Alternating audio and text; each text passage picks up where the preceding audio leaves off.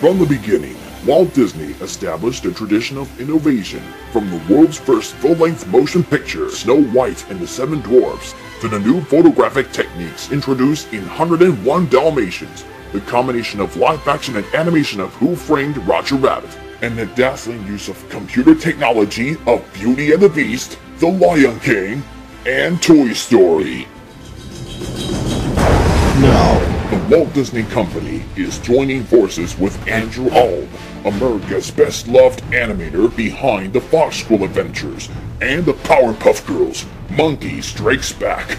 to bring Mr. Warburton's timeless classic TV show on the Cartoon Network to the big screen movie theaters for the first time. The Kids Next Door movie, Operation Quest, coming soon to theaters everywhere in 70mm CinemaScope from Cartoon Network, Andrewtopia Animation, and Walt Disney Studios.